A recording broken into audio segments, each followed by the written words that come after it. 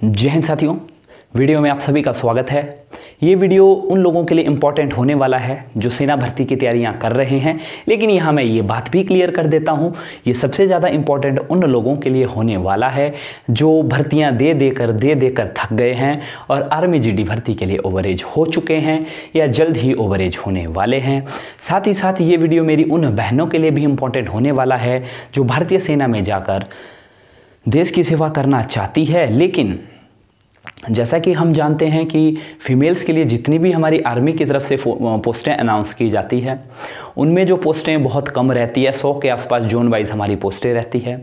और यदि मैं बात करूँ कट ऑफ़ की तो कट ऑफ़ इसकी 90 परसेंट से अधिक जाती है। और बहुत सारी मेरी बहनें ऐसी हैं जो देश सेवा करना चाहती है ऐसी वर्दी पहन के, लेकिन वो उस परसेंटेज की वजह से रह जाती है। तो आप सभी के लिए ये वीडियो काफ़ी इंपॉर्टेंट होने वाला है, क्योंकि दोस्तों, यदि भगवान आपका एक रास्ता बंद कर देता है तो आपके लिए दूसरा रास्ता खोल देता है। बस यहाँ ज़रूरत होती है उस दूसरे रास्ते को पहचानने की और उसके ऊपर चलने की और सफलता आपके कदम ज़रूर चूमेगी, ये मेरी गारंटी है। तो दोस्तों, आज मैं बात करने वाला हूँ एसएससी रिक्रूटमेंट की। जैसा कि आप जानते भी होंगे एसएससी ने जुलाई में जो है अपनी रिक्रूटमेंट अनाउंस कर दी थी। सतारह जुलाई से एसएससी के फॉर्म भरे जा रहे हैं। स्टाफ सिलेक्शन कमीशन की तरफ़ से। अभी यहाँ पर प्रश्न ये उठता है कि इस फॉर्म को कौन भर सकता है? तो मेरे ऐसे भाई, जिनकी उम्र 18 से 25 साल के बीच में है, वो इस फॉर्म को फिलअप कर सकते हैं।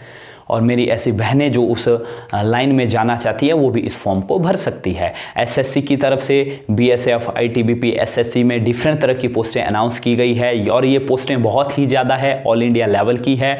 और इसमें हमारी पच्चीस हज़ार के आसपास पोस्टें हैं। बहुत ही ज़्यादा पोस्टें हैं। तो यदि आप आर्मी में जो है ओवर एज हो चुके हैं या आपका आर्मी में सिलेक्शन नहीं हो पा रहा है तो आप एसएससी को चुन सकते हैं। उसके माध्यम से भी आप देश की सेवा कर सकते हैं और पैरामिलिट्री का हिस्सा बन सकते हैं। अभी यहाँ बात यह आती है कि किस तरीके से एसएससी का प्रोसेस रहता है। तो एसएससी का जो प्रोसेस रहता है वो इंडियन आर्मी से बिल्कुल अलग रहता है। इंडियन आर्मी में अगर मैं बात करूँ तो सबसे पहले हमारा फ़िज़िकल टेस्ट होता है, लेकिन एसएससी में हमारा होता है रिटर्न टेस्ट। तो एसएससी का फॉर्म भरने के लिए आपको अगर मैं हाइट की बात करूँ तो फ़र्स्ट ऑफ़ ऑल आपने हाइट अपनी देख लेनी है। लड़कों का आपका 175 सेंटीमीटर के आसपास है और लड़कियों का है आपका 157 सेंटीमीटर के आसपास रहेगा। वही इसको फिलअप कर पाएँगे और एज तो मैंने आपको बता दी 18 और 24 के बीच में। तो अभी जो इसका जो फ़र्स्ट स्टेज दोस्तों आता है, वो आता है रिटर्न टेस्ट का।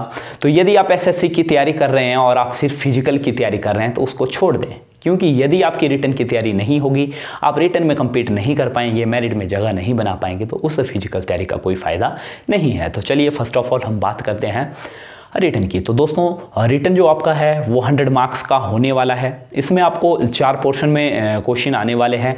25 क्वेश्चन आपको जनरल अवेयरनेस और रीजनिंग के आएँगे। 25 क्वेश्चन आएँगे आपको मैथमेटिक्स के। 25 क्वेश्चन होंगे हिंदी और इंग्लिश के। और जो 25 क्वेश्चन जो बच गए आपके, वो बच गए आपके जीके के। तो यहाँ आप इस बात को समझ लें, यदि आप मैथ से भागते हैं तो आप एसएससी के थ्रू सेना में जाने का सपना भूल जाइए, क्योंकि मैथ और रीजनिंग के आपको 50 प्रश्न आने वाले हैं। तो आप अपनी तैयारियों में अभी से जुट जाएँ। और दूसरी बात यहाँ आती है, यदि मैं आर्मी के रिटर्न की बात करूँ तो वो होता है हमारा ओ एम आर शीट पे। लेकिन एसएससी का जो रिटर्न होगा, वो एक कंप्यूटर बेस्ड होगा। उसमें आपका, जब आपका जैसे रिटर्न शुरू हो गया तो एक महीना, डेढ़ महीना आपका रिटर्न चलता रहेगा। उसके बाद अकॉर्डिंग टू क्वेश्चन पेपर आपकी जर्नलाइजेशन होगी। उसके बाद आपकी मेरिट बनेगी और उसके बाद आपका सिलेक्शन होगा। फ़िज़िकल के लिए। फ़िज़िकल टेस्ट के लिए। तो पहली स्टेज आपको पार करनी होगी, जिसको हम कहते हैं रिटर्न टेस्ट और रिटर्न टेस्ट में आपको मेरिट में आना पड़ेगा। और पिछली साल की बात करूँ तो मेरिट हमारा 70 के आसपास था। लेकिन आगे मैं बात करूँ तो इस बार पोस्टें पिछली बार से कम है तो मेरिट आपका ये मान के चले 75 प्लस जा सकता है जनरल के लिए। बाकियों का इससे कम ही होने वाला है, जहाँ तक एक्सपेक्टेशन है। तो अभी आपने रिटर्न क्वालिफाई कर दिया। उसके बाद होगा आपका फ़िज़िकल तो फ़िज़िकल के लिए क्या होगा? अगर मैं लड़कों की बात करूँ तो लड़कों के लिए होने वाली है पाँच किलोमीटर की रेस और लड़कियों के लिए होने वाली है 1600 मीटर की रेस, जो उन्होंने लड़कियों ने क्वालिफाई करनी है साढ़े पाँच सॉरी साढ़े छः मिनट में, साढ़े छः नहीं, साढ़े आठ मिनट में रहेगा सॉरी साढ़े आठ मिनट में लड़कियाँ उसको क्वालिफाई करेंगी। रिटर्न के साथ आपका जो फ़िज़िकल सॉरी जो फ़िज़िकल टेस्ट होगा रनिंग होगी, उसके साथ साथ आपका फ़िज़िकल मेज़रमेंट भी होगा, जिसमें आपकी हाइट मापी जाएगी। ठीक है, आपका चेस्ट मापी जाएगी, ठीक है, आपका वेट मापा जाएगा। उसके बाद आप जो है मेडिकल के लिए आगे जाएँगे। उसके बाद आपका फुल मेडिकल रहेगा। मेडिकल क्वालिफाई होने के बाद जो है ओवरऑल जो मेरिट बनेगी, उस मेरिट के आधार पर आपका सिलेक्शन एसएससी में होगा। दोस्तों, बहुत सारे हमारे ऐसे कैंडिडेट रहे हैं जो जीडी में जो है अपनी सीट रिज़र्व नहीं कर पाए, पक्की नहीं कर पाए, लेकिन उन्होंने हार नहीं मानी और उन्होंने लास्ट ईयर जो एसएससी का सलेक्शन हुआ था, उसमें अपनी सीट पक्की कर दी है। यहाँ आपने एक बात का ध्यान रखना है, ये नहीं सोचना है कि हमारा टेस्ट की डेट आ जाएगी, हम उससे पहले पढ़ेंगे।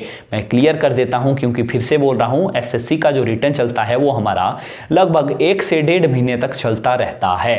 कईयों का आज होगा, कल होगा, परसों होगा। अभी आपकी किस्मत की बात है, हो सकता है आपका पहले दिन हो हो सकता है आपका लास्ट दिन हो। तो अभी आप ये मान के चलें, जो आपका रिटर्न टेस्ट होगा, वो आपका फ़र्स्ट डे ही होगा, ताकि आपकी तैयारी अच्छे से हो पाए।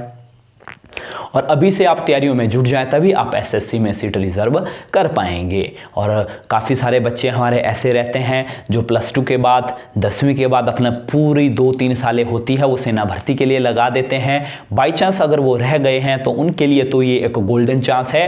ये एक संजीवनी बुटी है अपना फ्यूचर बनाने की। और मेरे ऐसे साथी, जिनकी उम्र अभी इक्कीस वर्ष से कम है, वो आर्मी भर्ती की तैयारी कर रहे हैं तो वो भी एसएससी में अप्लाई कर सकते हैं एज अ सिक्योरिटी अगर एस में नहीं हो पाया आर्मी में तो आप एसएससी में आप ट्राई कर लें। उम्मीद करता हूँ कि आपको हमारा वीडियो अच्छा लगा होगा। यदि आप हमारे चैनल पर नए हैं तो हमारे चैनल को सब्सक्राइब कर लें ताकि आने वाले वीडियो का नोटिफिकेशन आपको समय पर मिलता रहेगा। मिलेंगे अगली वीडियो में, तब तक के लिए जय हिंद, जय भारत।